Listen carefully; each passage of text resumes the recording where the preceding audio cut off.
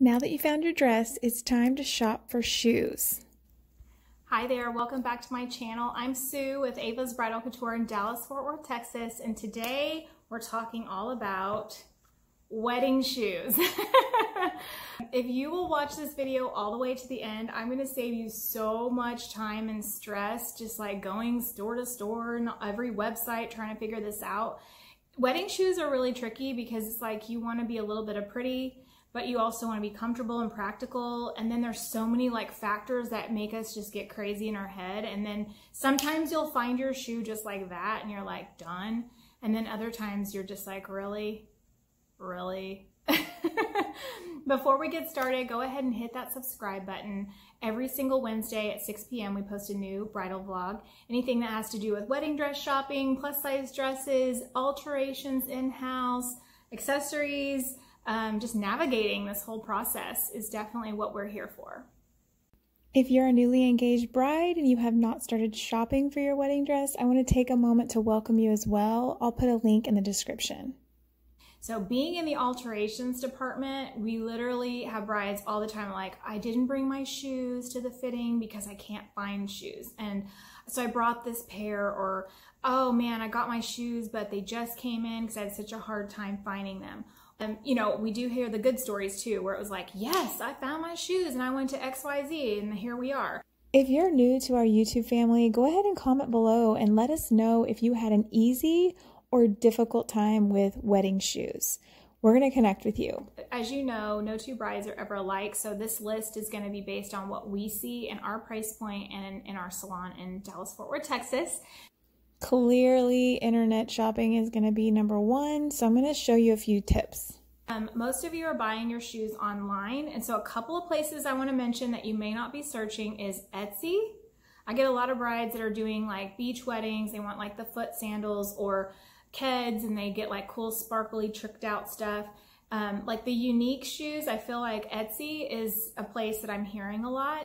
I'd love to see your comments if you agree. I feel like Etsy is that personalized custom shoe resource. They do so many special orders. And Pinterest. A lot of us didn't realize that on the left hand side you have the Explore tab, but on the right hand side they now have the Shop feature, which has been a game changer for small businesses. So a lot of those images are now clickable and go back to an e-commerce website. Not all, I wish they all did. But don't um, don't forget those two applications as well. I doubt you'll be surprised to know that Amazon is definitely the number one place that brides are going to shop for their shoes. If you're a Prime user, it's definitely a no-brainer. You get free shipping, free returns. It ships so quick. It's kind of hard to beat.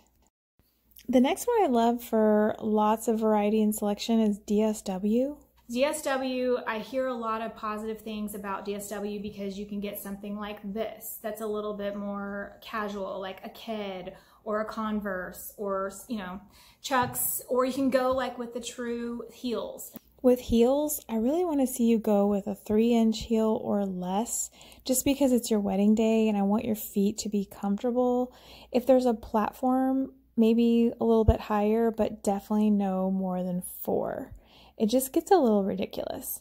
A lot of us are going to wear one shoe and then change into something else, and we'll definitely talk about that more with your hem, but flats are always an easy go to as well. Handbags at DSW, they have a small selection, but they really go well with a lot of the popular colors and the metallics, and they even have dyeable handbags. The price points are really, really good. So check those out. DSW also has a great website. If you start early enough, you can even sign up for their coupons and emails. Um, this is not a sponsored video, but if it ever becomes a sponsored video, I'll link it in the description below. But all jokes aside, head into the description below. I will link um, some information for you on DSW. That way you can kind of get started there. What I would like to do is start online and kind of browse and kind of get a, wish list together and then either purchase and ship them all to your home, try them on, and then return what you don't want. Wedding shoe shopping is a great opportunity to pick up a designer shoe at like Neiman's or Nordstrom or Saks that you normally wouldn't invest in. But if they're comfortable, go for it. So a lot of them are the stores in the malls like Nordstrom, Macy's, Dillard's, DSW happens to be in um, some of the malls here, Target, J.C. Penney, um, Walmart. Depending on where you live, you might notice that Nordstrom Rack is closer to you than a regular Nordstrom store. I would try both, but I've also been really surprised at how many of you have found them at Dillard's. Macy's, Dillard's, Nordstrom, those are definitely ones I would check if you're having a hard time. Obviously, you can get more designer shoes at some of your higher end stores like Saks and um, Nordstrom, and then you can get really great affordable shoes at some of the um, like family oriented corporate stores like Walmart and Target. If you still haven't found your shoes, you might find yourself in a corporate bridal salon. A lot of these corporate stores have shoe departments still. We used to back in the day, but we phased it out just due to demand. David's Bridal. I know, mic drop. I'm Ava's Bridal Couture. They're David's Bridal. Um, and their corporate stores have really great shoe sections. What I love about their shoe selection, it is smaller. So, um, but it's also specific to bridal. Dyeable shoes are pretty common in the bridal world, but I'm curious how many brides are really searching for dyeable shoes. I'd love to hear your advice and opinion in the comments below. Dyeable shoes are great because if you want to wear them in the shade of your dress, you can have it dyed to match, which was a big thing back when I got married. But now it's all about just everyone doing their thing that fits their personality. Well, if you dye your shoe or wear a shoe white or ivory in a dyeable, you can actually black it out or make a cute pink pump or do something to it in another color as long as you didn't go really dark with the dye the first time. So I kind of like that because you can wear it one color for your wedding day and then you can dye it another color if it's a dyeable shoe. David's Bridal has a really good selection because they have like the flip-floppy kind of stuff and they have the wedges and then they have the heels, but I do see a lot of their shoes geared for bridal and prom and pageant, so check them out.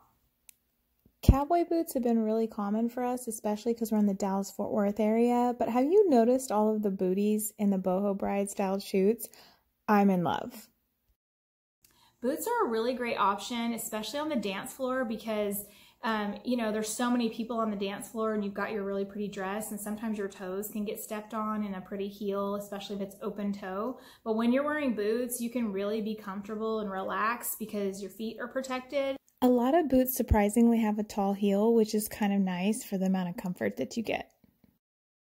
My favorite locally owned um, shoe store for boots is actually Leddy's in the Stockyards of Fort Worth. I love going in there and supporting local businesses.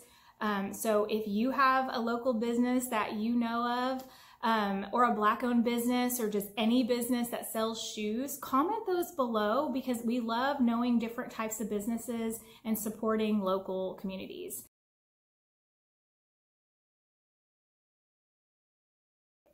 Now it's time to hear from you. So comment below and tell me where you got your shoes because I know that you've gotten some shoes and you know, I want to hear all of your comments. And if you're a new bride and you're new to our YouTube family, head into the comments, see where brides are connecting and um, feel free to go into the description as well. And I'll link some other videos as well as above so that you can click on some other resources on this topic.